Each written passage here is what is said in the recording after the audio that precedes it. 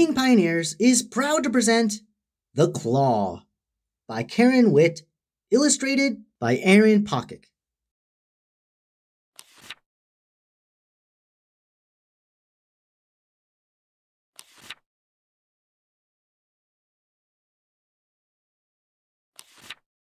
On the muddy banks of a salty sea lived a crab called Clive, who was strong and free. Clive was charming, friendly, and chipper, and on both sides of his body he boasted a nipper. Clive and his friends loved to drift all day, with playgrounds aplenty along the way. Each night they burrowed into the bank, then into their muddy beds they sank. But one terrible night, in a terrible fight, Clive threw a nipper and swam off in fright. With only one nipper, he hid and he cried, I'm only half a crab now, he sighed. Mud crabs are born to be big and strong, but only with one nipper, I don't belong. Clive sulked in the weed day after day and watched the other crabs frolic and play. Then one day a face poked through and said, I'm Jenny. Would you like to play too? Clive looked down and shook his head. I've only one nipper. I'm different, he said. We're all different, my friend, Jenny replied. There's no need to worry, and no need to hide. An old friend called Snippy visited Clive and asked him to come on a wonderful dive. But Clive was too glum, forlorn, and meek. He wallowed in the weed, week after week.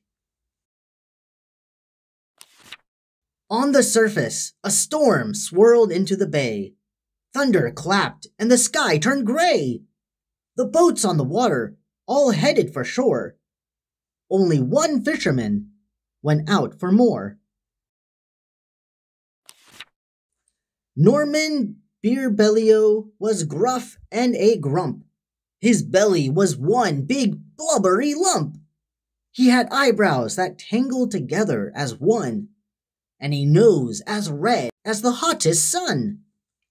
He baited and tossed his lines overboard, it won't be long now, and I'll have a whole horde, he said to himself, feeling proud as punch, as he dreamt of crab sandwiches, fresh for his lunch. Beerbellio's appetite grew and grew as the storm rolled in and wild winds blew. The crabs below tucked into a feast, unaware of the plan of the blubbery beast. Suddenly, the crabs each vanished from sight. But where did they go? And were they all right? Clive watched and he wondered with worry. Where did they go in such a hurry? Clive followed the bubbles, curious and keen, and spotted a boat and a pot full of steam. The boat was rusty, rugged, and grim and on board, Beerbellio was hauling crabs in. Beerbellio stirred the pot that steamed. Clive heard the cries of crabs who screamed. And then he saw Jenny and heard her shriek, Somebody help us! We're all too weak! Clive signaled to Snippy, who was swimming past. Please help, he asked.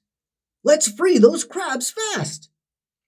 Clive told him of Jenny and the crab's poor fate, of Beerbellio, the pot, and the fishy bait. Bravely they boarded the rusty old boat and hid on the fringe of Beerbellio's coat.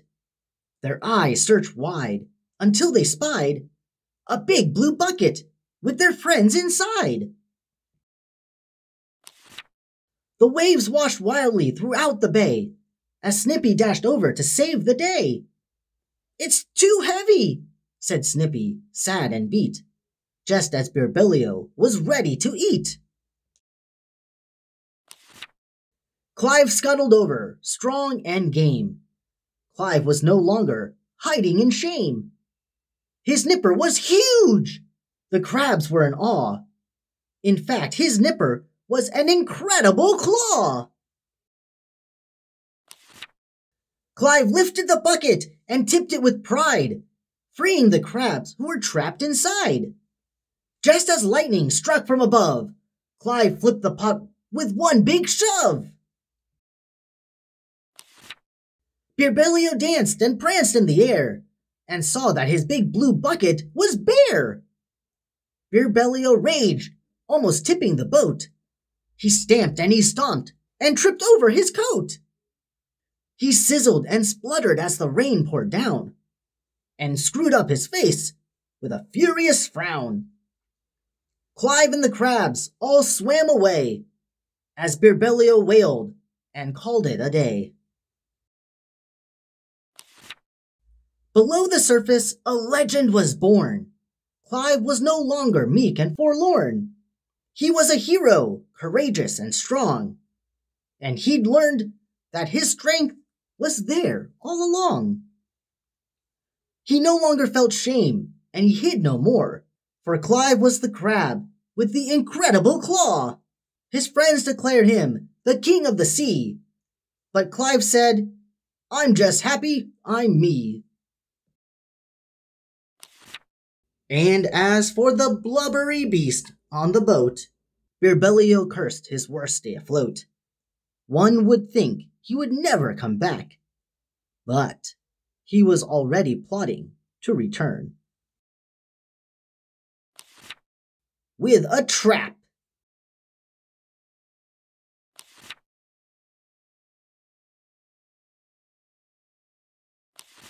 Thank you, Pioneers, for reading with us today to the book The Claw by Karen Witt.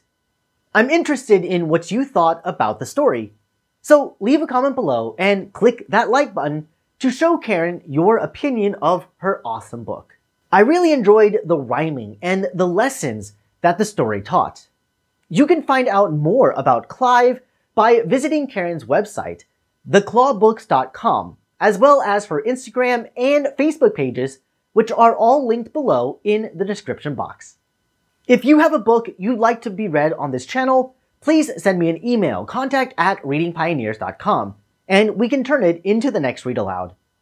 Also, don't forget to click the subscribe button, the like button, and share this with your friends and family. It really means a lot to this channel. Unfortunately, this is it for today. While waiting for the next upload, you can check out the playlist over here of other inspiring and great reads for young pioneers. And below that is The Incredible Claw, the second book featuring Clive. Thanks again, readers, for joining us today, and until next time, I hope you all have an amazing day. Bye bye.